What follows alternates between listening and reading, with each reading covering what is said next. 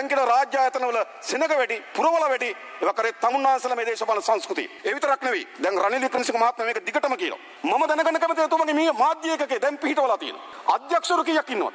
මම එකින් එක කියන්න. සොලමන්ස් ජනාධිපති උපදේශක ලක්ෂයයි 60000ක තෙලුයි හරිද?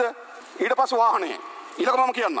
ධනුෂ්ක රාමනායක ජනාධිපති මාධ්‍ය අධ්‍යක්ෂ ජනරාල් ඊළඟ VMAN මහත්මිය අධ්‍යක්ෂක මාධ්‍ය ඊළඟ පියසේන මහතා අධ්‍යක්ෂක මුද්‍ය මාධ්‍ය ඊළඟ කරුණාරත්න මහත්මයා අධ්‍යක්ෂක මාධ්‍ය ඊළඟ විජය බණ්ඩාර මහත්මයා අධ්‍යක්ෂක මාධ්‍ය ඊළඟ පියසේන දිසානක මහත්තයා අධ්‍යක්ෂක එඩිටෝරියල් ඊළඟ මාතරගේ මහත්මිය අධ්‍යක්ෂක සංනිවේදන සුරංග මහතා අධ්‍යක්ෂක මාධ්‍ය රාජපක්ෂ මහත්මයා අධ්‍යක්ෂක සංනිවේදන ජයසිංහ මහත්මයා අධ්‍යක්ෂක ඩිජිටල් ඒකනායක මහත්මිය අධ්‍යක්ෂක නව මාධ්‍ය ජිනදාස මහතා අධ්‍යක්ෂක ඩිජිටල් බණ්ඩාර මහත්මයා අධ්‍යක්ෂක විද්‍යුත් මාධ්‍ය චන්දිමාල් මහතා අධ්‍යක්ෂක ඡායාරූප. හරිද?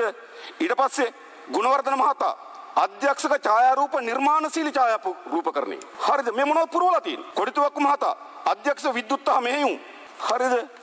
ඊට පස්සේ මේ ඔක්කොටම 80000 වාහනේ තෙලුයි දෙනවා දැන් තමුන්වහන්සේලා කියන රාජ්‍ය සේවය නුවර ගිහිල්ලා ජනාධිපති රනිල් වික්‍රමසිංහ මහත්මයා කියනවා වැඩ කරන්නේ නැති අය ගෙදර යන්න කියලා. මාධ්‍ය එක්ක අධ්‍යක්ෂවරු කීයක් ඉන්නවද? නියෝජ්‍ය අධ්‍යක්ෂකරු. ඒ වගේම නේද?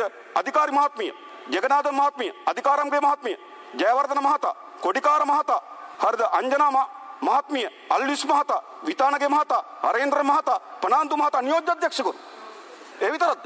ඡායාරූප ශිල්පීන් කී දෙනෙක් ඉන්නවද? හරිද? ඡායාරූප ශිල්පීන් 1 2 3 4 5 6 7 8යි වීඩියෝ සංස්කරණ ශිල්පීන් 1 2 3 4යි මාධ්‍ය සහකාරවරු 1 2 3 4 5 6යි මොකද මේ වෙලා තියෙන්නේ කියන්න පුළුවන් නම් ජනාධිපතිවරේ පාර්ලිමේන්තුවට ඇවිල්ලා කියන්න තමගේ මාධ්‍ය එකේ කොච්චර පිරිසක් ඉන්නවද?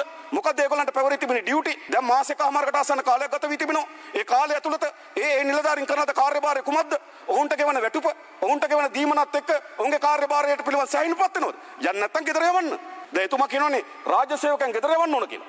මතක තියාගන්න රාජ්‍ය සේවකයන් ඔක්කොම එකතුලා ගෙදර යවපු කෙනා යා. හරිද? එයා ඇවිල්ලා කියන රාජ්‍ය සේවකයන් ගෙදර යවන්න ඕන. හැබැයි මොකද වෙලා තිබෙන්නේ? අද ජනාධිපති ලේකම් කාර්යාලය පුරවන විදිය බලන්න. ඇවිල්ලා රටට මේවා කියන්න එපා.